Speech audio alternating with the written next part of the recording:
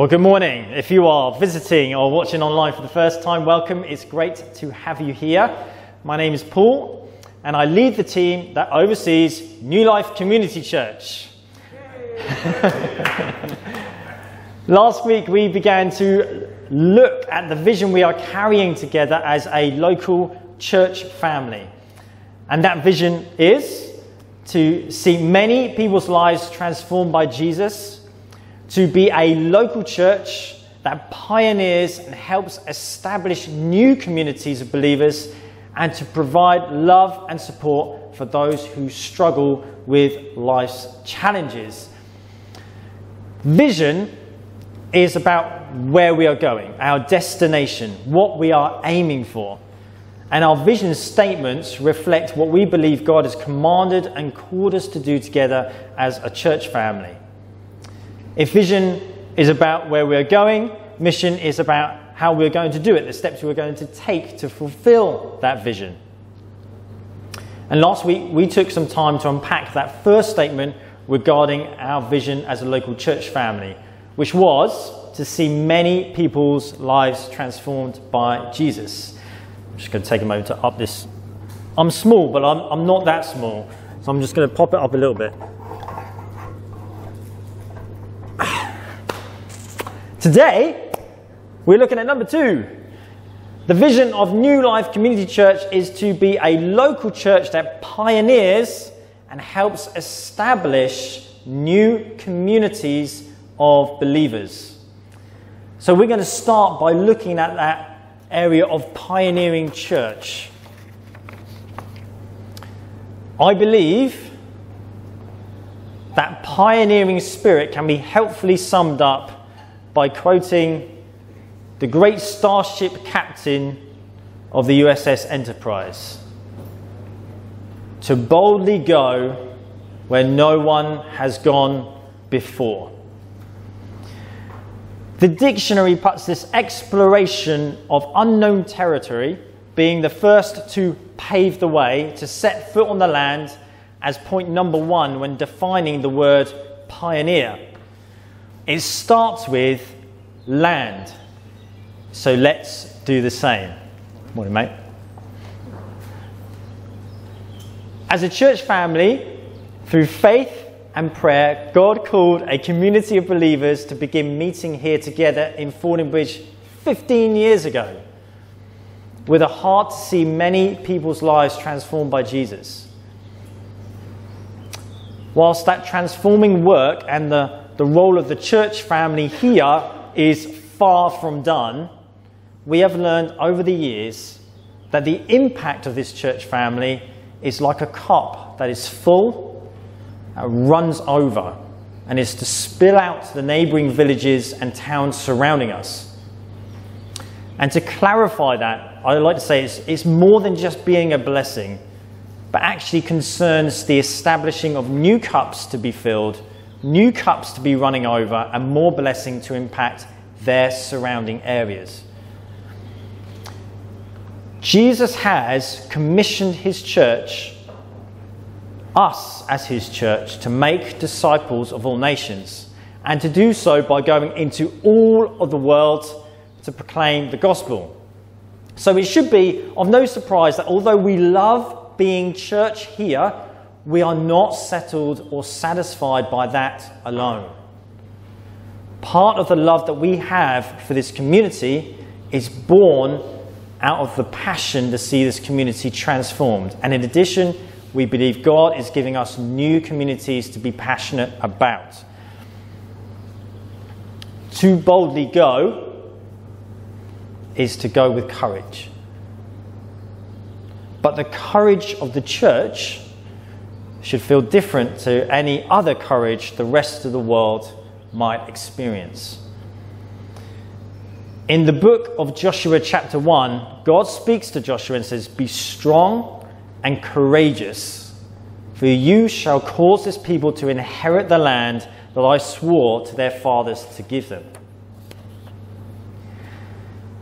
Here, in this situation, a leadership baton has been handed over from Moses, who has now died, to Joshua.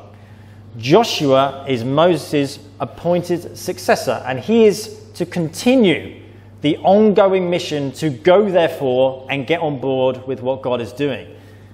God is leading Israel into the land that He has historically promised them, and they are about to cross the Jordan River into that land. This is a huge moment for Israel and a huge moment for the leadership of Joshua. Be strong and courageous is mentioned four times in what is a very short opening chapter. So, this leads me to think that quite naturally Joshua would have been a little bit nervous about the next mission steps. However, it does not deter him in continuing to lead the people toward the vision, the destination God has given them. The, the key affirming factor, really, in Joshua's courage was God being with them. We can have courage to do lots of things in this life. But when it is the church getting on board with what God is doing, that courage is underpinned by God's presence going before them and being with them. As we see in the book of Joshua, to boldly go with courage into new lands is not going to be without its battles. For Israel, when they crossed the river, it was the city of Jericho initially. In the New Testament, when the Apostle Paul courageously pioneered to where the gospel had never been preached before, he encountered battles. He suffered. The church suffered. But that did not prevent God from what he was doing. And it did not deter Paul from continuing to fulfill the mission that God the vision that God has set before him. Dear church, all of you are here, of you who are here, and those of you who are listening, those who are watching. As an eldership team, we believe we have a mandate from God to explore new lands, new territories, to boldly go. Maybe not necessarily where no man has gone before, but certainly to land that may be new for us. New communities for us to get passionate about, new places where we want to see many people's lives transformed by Jesus. And we are to have courage in doing this. Not an earthly courage, something that merely reflects the strength to do something in light of adversity, but a courage that is underpinned by the certainty of God being with us and going before us. A courage that comes with the faith that we are hearing from God and are on board with what God is doing. A courage that says, despite our weakness and fear, we will trust in God's strength and commitment.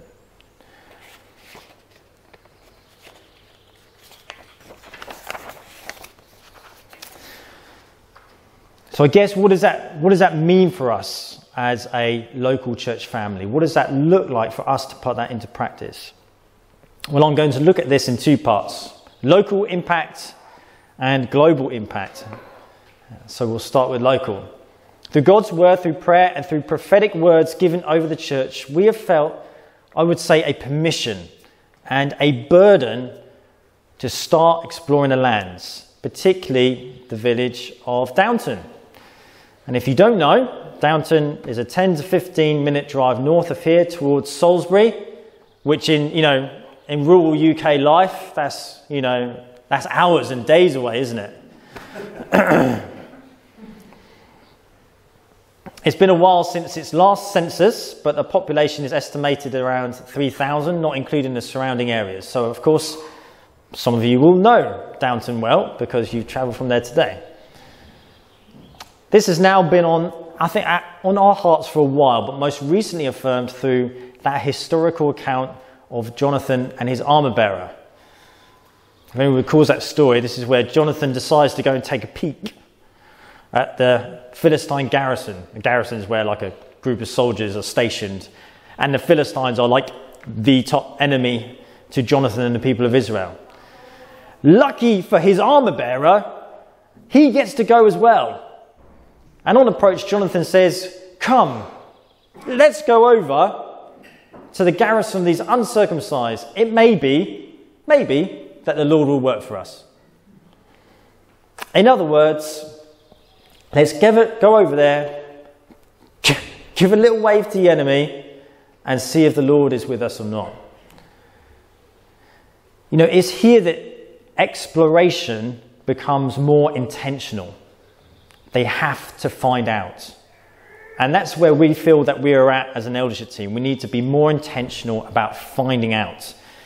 So, with that in mind, and there will be more details to follow as we come along. As of September, we're going to be having a life group established that is intentionally concerned with Downton, made up of some people who are geographically located there, that make common sense, and with people who are actually have a heart just to be on board with what God is doing and how He's leading us as a church family. Our next step of intentionality is to see what work of service we could see established in Downton, whether that's an alpha or a CAP life skills or a children's work. Either way, it will begin with us stepping out in faith with something. And so, with all of that in mind, I would like to ask you to be praying for us. And if you feel that you have some word of wisdom, of encouragement, regarding this exploration, we would we'd love to hear from you. There is an existing church presence there in Downton, and that would be my responsibility to connect with those guys and see how they're all doing. But like Terry Virgo says, there are no well worn paths. And what we are doing by exploring the land is actually just trying to faithfully respond to God's leadership over us. And we'll see what happens. So that's local impact. Let's, let's touch briefly on global impact, shall we? so Christ has given his church that mandate to go into all the world. So, of course, global impact of this church family is not like off our radar. you only have to look at what Jesus can do with five loaves and two fish to know that he can take the little that we have to offer and use it to bless thousands. In addition to that, we also have had a prophetic word spoken regarding the global impact of this local church family. Which at this stage, I think as an eldership team, as a church, I'm not sure we need to actually do anything with that. It's just mainly, uh, and I think mainly because I'm, we're not completely sure what to do with that. However, what we are certain about is that we're having this in mind. We are aware of it. God is going to use us as a church family to have global impact. That I have confidence in.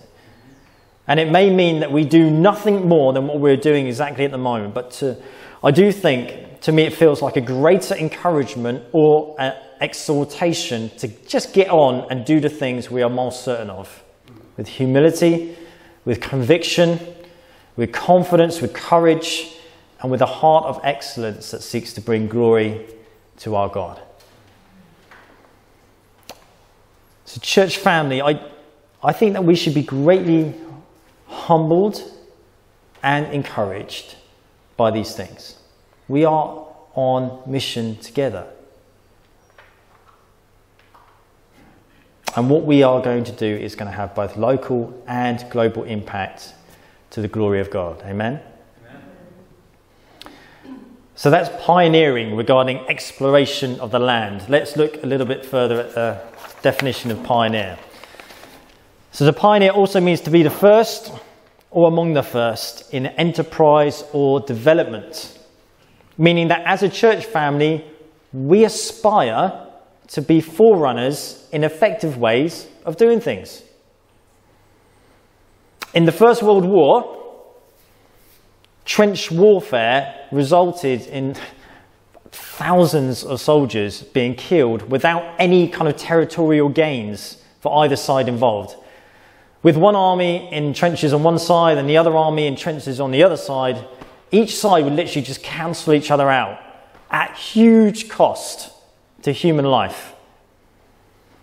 And this was done over this land that stood in the middle, known as, we would know as uh, no man's land. If one side was to press on, and gain territory, a solution was required. And it is because of this very issue and the cost of lives, the stalemates, the inability for the military to press forward and gain ground that Winston Churchill commissioned British engineers and fought for the need for investment into new solutions that would overcome the, the trench war. Speaking of solutions, thanks, Joe.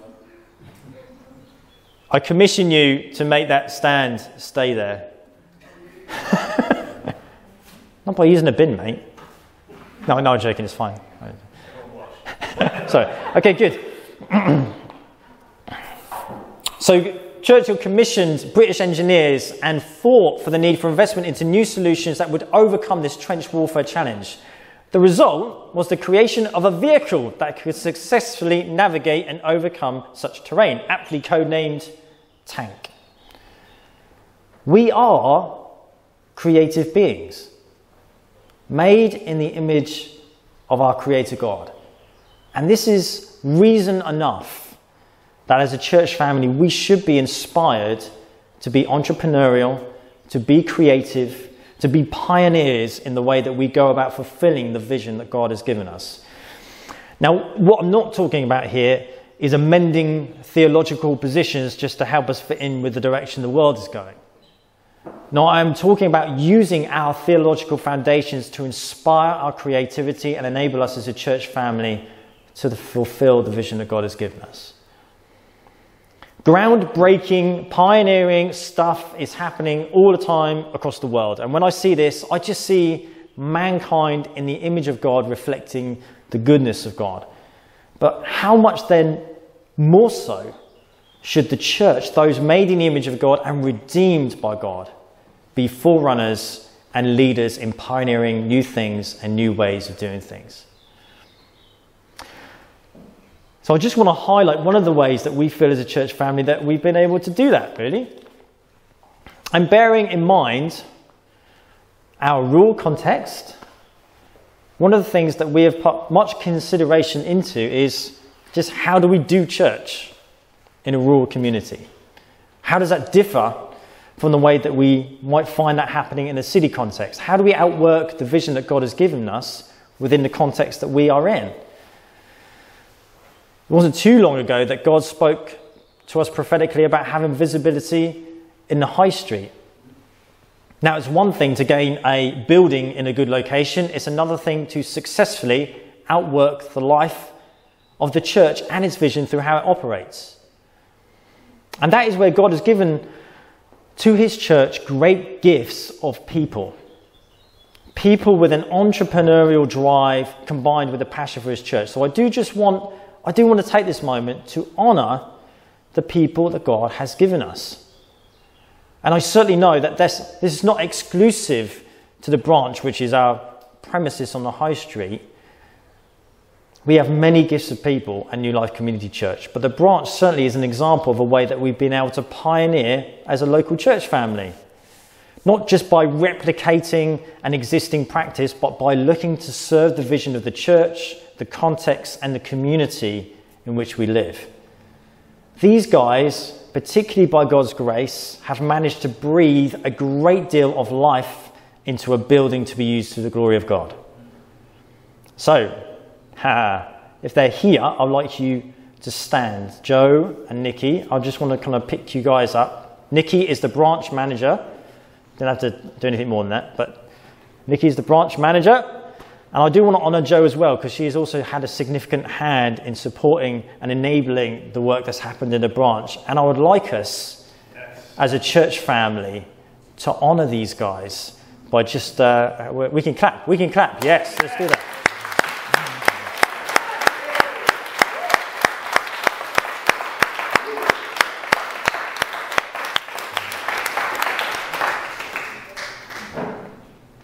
It's good to honor what God is doing. It's good to honor those that God has given us with great gifts across the church family. And, you know, in this case, what we're highlighting is just one of the ways that we have been able to, I think, uniquely pioneer in a local rural context by God's grace. What we've managed to establish through the work of the church and the branch really has opened the door for us to consider then what can we do then in other in our and other local communities. If we can do this, this is not just where we fall short. This is it. This is not just it. We've got more. God's got more for us to do, more for us to consider, more for us to pioneer into. So, this really sets the expectation, the bar, the tone, and the permission to consider how we can pioneer in all types of church life, not disrupting our theological foundation, but by using those theological foundations, our convictions, to inspire our creativity. So, a final note then the vision of New Life Community Church is to be a local church that pioneers and helps establish new communities of believers. Establish new communities of believers. This is an important one because, like seeing many people's lives transformed by Jesus, we have a commitment not just to see people cross the line of faith, but journey with them so that they grow in their faith and their knowledge of God. This is what discipleship is.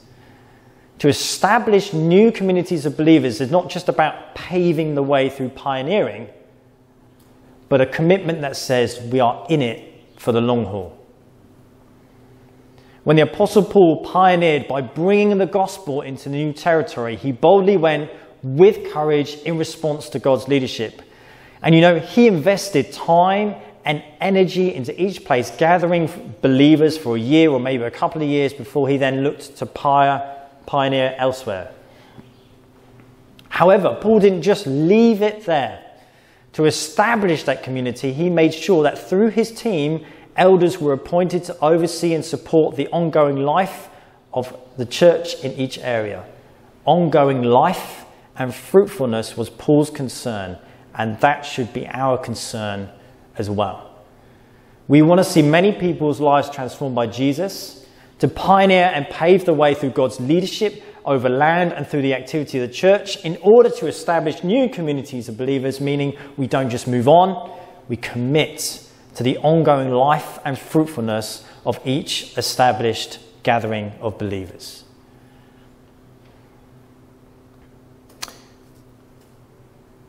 How do we respond to such things? As we, as we explore and we become more intentional about, for example, Downton, as we look to pioneer and establish, as we seek to honor God through the vision He has given us, we will continuously need God's wisdom, His counsel, His comfort, His confirmation, the signs of His favor, and the support of His people when Jonathan makes the call to head toward the Philistine garrison, his armor bearer responds by saying this Do all that is in your heart. Do as you wish. Behold, I am with you, heart and soul. The armor bearer is knitted heart and soul to the leadership of Jonathan. And as an eldership team, we view that as another sign of God's favour, the local church family responding in such a way to church leadership by you guys saying, We are with you, heart and soul. Such support is not to, is not to inflate our egos, but to confirm what God is doing in our hearts and how He is leading us as a church family. So, if you are willing, I would like to call you to respond as a sign of commitment to this second vision statement of the church. That vision of New Life Community Church to be a local church that pioneers and helps establish new communities of believers. So if you are new or recently connected to New Life Community Church here, please, I'm just going to say, don't feel obliged to respond in the way that we are asking, okay? Please actually just take this as an opportunity to know us a little bit more as a church family. But for all of you other guys, if you feel knitted, and that's important, knitted heart and soul to this vision statement and the direction of the church family, I would like you to stand together.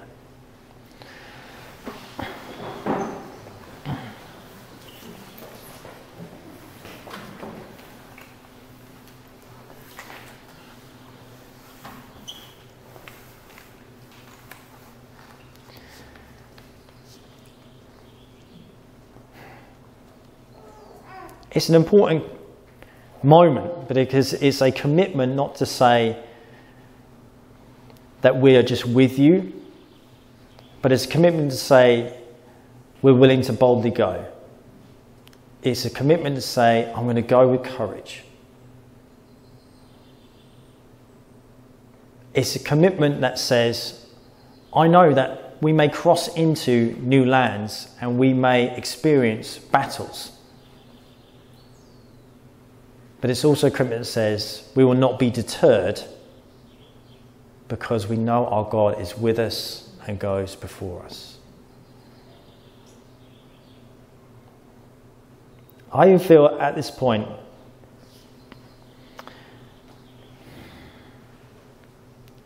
I, as I was preparing and as you guys were responding, an urge to commission some of you, even now, to step up. You will know who, who you are. There's going to be a, a sense of just even a, a provocation from the Holy Spirit says, That's you. That's you. Maybe you've been fearful, a little bit anxious, or in previous time, maybe, I don't know. I don't know where, you, where you're at in your walk with Jesus, you know, and, and how you feel God is using you and calling you. But I feel at this moment in time, there is commission for some of you to step up. And this will feel a commissioning moment for you, a moment of, I want to say, mobilization. Some of you some of you guys are pioneers here. Some of you are going to be able to boldly go, to pave the way, to not just pioneer, but also to establish. And I feel God will be laying this afresh on your hearts again as well this pioneering spirit, this kind of excitement, this bubbling of, yeah, that's me. I'm the one. I want to pioneer. I want to press on. I want to pave the way. I want to be part of that. That's me. The result of this might mean new mission steps, mission steps for you personally. You're going to have to take hold of that and think, right, I'm going to step out in courage and faith personally. It also may mean new mission steps for the church new areas of activities that will come as a result of this. And I just want to say that also, as you stand, maybe it's just that re cementing of your feet that says, I am here. I am knitted heart and soul to what God is doing here.